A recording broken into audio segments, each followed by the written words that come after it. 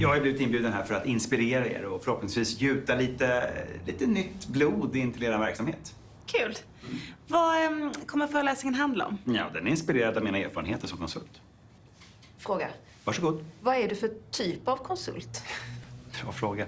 Vad är jag för konsult? Ehm, tidigare så jobbade jag i princip enkom i Sverige. Men alltså på senare tid har valt att förlägga lejonparten av mina mantimmar i Tyskland. Företrädesvis Düsseldorf, Bremen i viss mån. Och då och då hamnar jag också i Cuxhaven. Men vad är det du gör? Ja, vad är det jag gör? Eh, Låt mig vända på den frågan och slå den tillbaka som en padelboll till er. Jag tycker att ni ska få jobba lite grann också. Ja, hjälp mig nu hörni. Vad gör en konsult?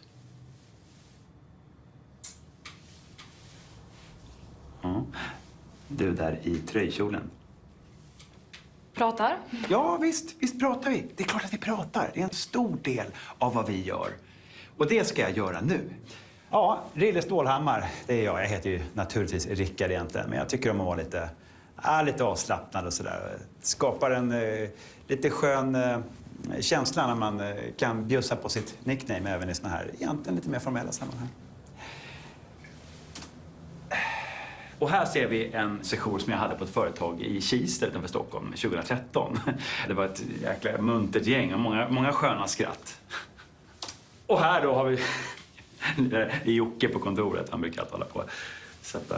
Alltså, vad är det den här föreläsningen kommer ge vårt företag mer konkret? Eh, Som konsult blir man ofta inhyrd för att man vill tillföra någonting. Tänk er en fruktsallad. Ibland behöver man mango. Ibland behöver man persilja. Ibland vet man inte. Man bara tar, stoppar ner handen och ser vad man får upp. Ursäkta. Ja. Eh, när sätter själva föreläsningen igång? Oj, här har vi någon som är lite ivrig att komma igång. Vad kul, vilken härlig inställning. Hörrni, vi börjar direkt. Okej. Vad är egentligen en föreläsning?